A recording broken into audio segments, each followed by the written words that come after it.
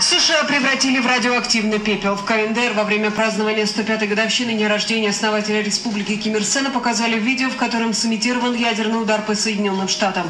В ролике показан запуск новой баллистической ракеты средней дальности, которая перелетает через весь Тихий океан и ударяет по одному из американских городов.